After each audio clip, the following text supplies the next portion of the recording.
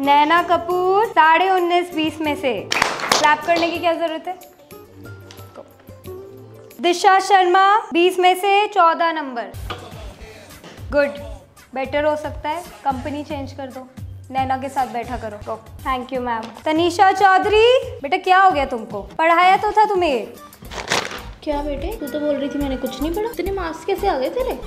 वो देख तेरी न्यू बेस्ट फ्रेंड रो रही है बैठ कर। पेपर कैसे लेके जाऊँगा यार इसको 19 एंड हाफ़ ला कर रू रही है। और मुझे देखो सात नंबर लाके भी खुश हूँ कि चलो पास तो हो गई। आधा नंबर देख रही है कट गया वही है ना अब ग्लास आधा भरा हुआ देख रहे हो या खाली? भाई इसका तो पूरा ग्लास भरा ही हुआ है एक ही तो घूट मारी है किसी ने। अबे उसको देख चंचल को। मैम से लड़ रही है दो नंबर बढ़वाने के लिए। मैम यहाँ पर मेरे दो नंबर बढ़ेंगे। यहाँ तो तेरे कट रहे हैं तीन नंबर।